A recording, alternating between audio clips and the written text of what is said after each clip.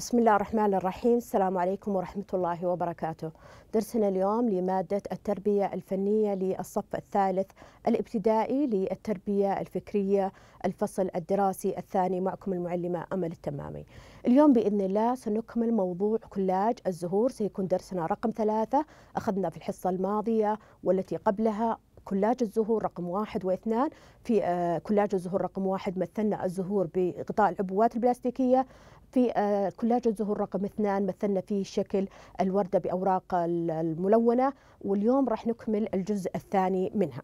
لكن في البداية سأذكر آداب الدراسة عن بعد. أجلس بشكل صحيح على الكرسي ونلاحظ أن الصورة التي باللون الأخضر هي الجلسة الصحيحة أما الصورة التي باللون الأحمر هي جلسة خاطئة. أستمع لتعليمات المعلمة عندما تقوم بالشرح أكون مركز معها حتى أعرف ما هو مطلوب مني وأؤدي العمل بطريقة صحيحة. أيضا أتبع التعليمات بالتسلسل عندما تبدأ المعلمة الخطوة الأولى. أبدأ معها وأقوم بتنفيذ الخطوة ثم أنتظر حتى تنتقل المعلمة إلى الخطوة الثانية. بعدها أنتقل معها. أيضا أطلب من ولي أمري متابعة نشاطي وطلب المساعدة عند الحاجة خاصة عندما نستخدم بعض الأدوات الحادة مثل المقص والمشرط والصمغ الكهربائي. أيضا أحافظ على نظافة المكان والملابس عندما أنتهي. أقوم بتنظيف الطاولة أقوم بإعادة الأدوات لمكانها الصحيح. أتخلص من الأدوات المستهلكة التي لم أعد بحاجة لها أرميها في سلة المهملات حتى يصبح المكان نظيف كما كان. هذا بالنسبة لآداب الدراسة عن بعد. نأتي لدرس اليوم اليوم سنتعلم آه، تشكيل الزهور باستخدام الورق المقوى الجزء الثاني استخدمنا آه، في الحصة الماضية الورق المقوى ورسمنا آه، عليه الشكل الهندسي دائرة لتمثيل أوراق الزهرة وقطعة الكرتون. سيصبح الشكل النهائي بهذا الشكل الذي يظهر على الشاشة. طيب عندنا الهدف العام لدرس اليوم أن يشكل الطالب والطالبة الزهور باستخدام الورق المقوى. وعندنا الأهداف التدريسية أن يكرر الطالب والطالبة معنى كلمة كلاج. أيضا يعدد خطوات تصميم الكلاج ويعدد الطالب والطالبة الأدوات والخامات لتنفيذ نشاط كلاج الزهور. أما الهدف رقم أربعة أن ينفذ الطالب والطالبة نشاط كلاج الزهور. في الحصة السابقة قمنا بقص قطعة الكرتون. هذه هي قطعة الكرتون. هنا. والأوراق على الشكل الهندسي هذا هو الأوراق استخدمنا فيها قالب على شكل هندسي دائرة وسأقوم الآن بتنفيذ العمل. عندنا أول شيء إحضار الأدوات اللي راح نحتاج لها اللي هي الأوراق التي قمنا بقصها على شكل هندسي دائرة وقطعة الكرتون الدائرية. أيضا سنحتاج الصمغ وسنحتاج إلى كور قطنية ملونة. هذا بالنسبة للأدوات اللي راح نحتاج لها اليوم. طيب نأتي للخطوات.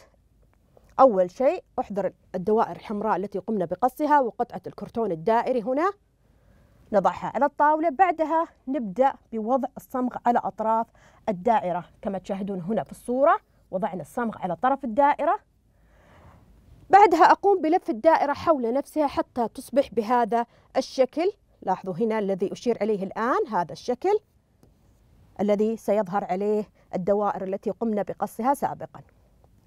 بعدها أضع الكرتون الدائري بجانب الورق الأحمر الذي قمت بطيه ثم أبدأ بتثبيته على قطعة الكرتون مثل الصورة التي تشاهدون حتى يصبح الشكل بهذا الطريقة. بعدها أستخدم كرات القطن وأضعها في منتصف الوردة. هذا هو الشكل النهائي اللي راح يكون عليه عملنا اليوم. وريتكم الشكل النهائي سابقا في الحصة الماضية اللي هو هذا الشكل. سنقوم بتنفيذه نفس اليوم. إذا خلونا نبدأ الآن التنفيذ العملي. عندنا الآن قطعة الكرتون قطعة وعندنا الكرة القطنية اللي راح نستخدمها وعندنا أوراق اللي قمنا بقصها في البداية سأقوم بوضع الصمغ. على الورقة على طرف الورقة ثم أبدأ بثنيها بهذه الطريقة. لاحظوا كيف أصبح شكلها. أكرر العملية مرة أخرى. أضع الصمغ على طرف الورقة. وضعنا هنا الصمغ. أبدأ بثني الورقة.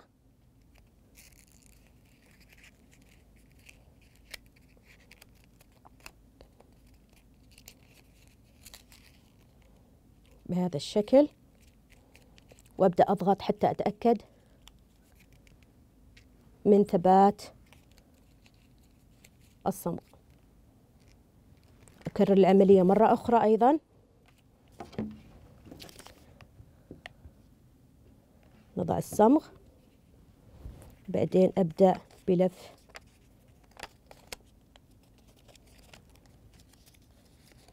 الورقة.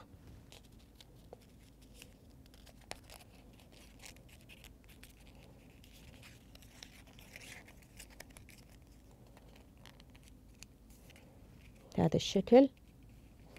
مرة أخرى.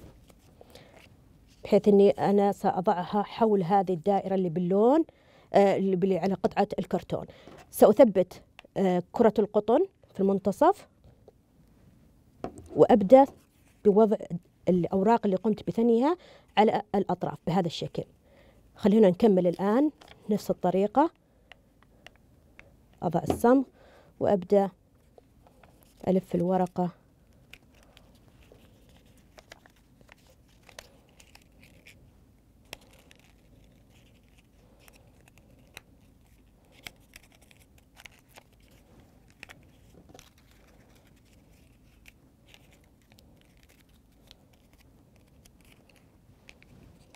نكمل بنفس الطريقة.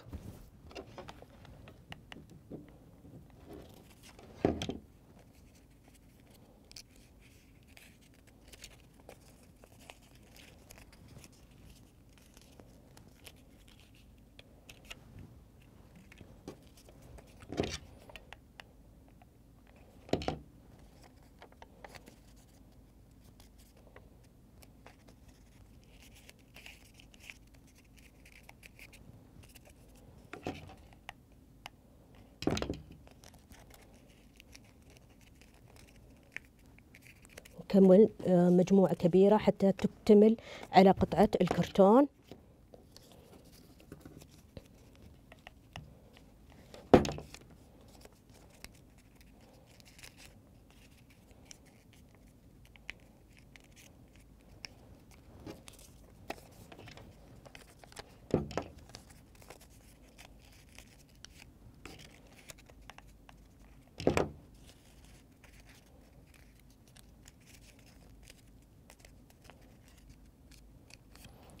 خلونا نبدأ الآن تثبيت. شوف إذا احتجنا كمية إضافية أضفنا مجموعة من الأوراق اللي قصيناها. نبدأ نضع الصمغ على أطراف الورق. ونبدأ بتثبيته. هذه أول ورقة. ثاني ورقة. ثالث ورقة. رابع ورقة. أحاول أضغط حتى أتأكد من ثبات الورق. الورقة الخامسة.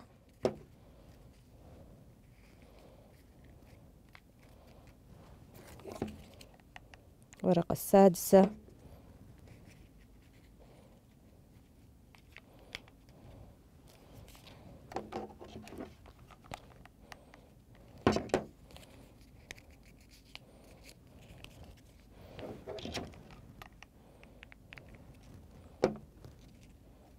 وهكذا مع بقية الأوراق.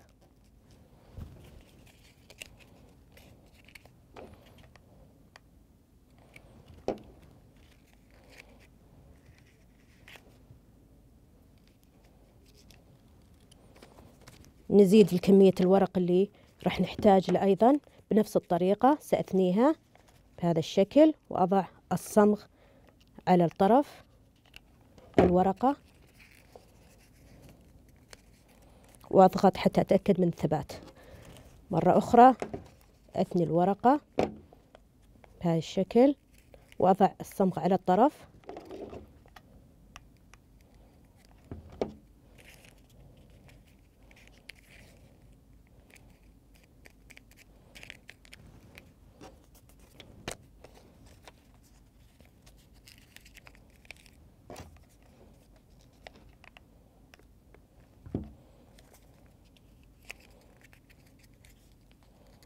طيب نكمل تبيت الأوراق.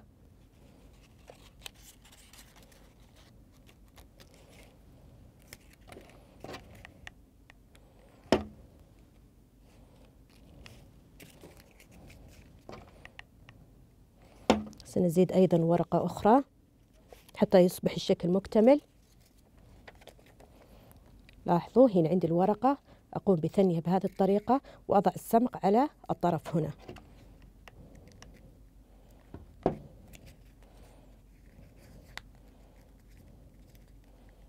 أضغط عشان أتأكد من ثبات الورقة.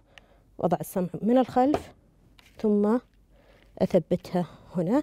تقريبا انتهينا الآن. أصبح عندي الآن شكل الوردة كما تشاهدون. هذا هو الشكل النهائي. عملناه كما عملنا الشكل السابق قبل الحصة. هذا هو درسنا اليوم. أتمنى أن يكون درس اليوم مفيد لكم أعزائي الطلاب والطالبات لكن لا ننسى أعزائي أولياء الأمور تعميم المهارة في المنزل وتقديم المساعدة التي يحتاجها ابنك وابنتك سواء كانت مساعدة لفظية أو جسدية أو إيماءات. أيضا عمل النمذجة أمام الطالب حتى يعرف ما هو مطلوب منه ويفهم الخطوات بطريقة صحيحة. أيضا لا ننسى تقديم عبارات التحفيز والثناء حتى يشعر الطالب بالثقة والنجاح. كانت معكم المعلمة أمل التمامي. مع السلامة.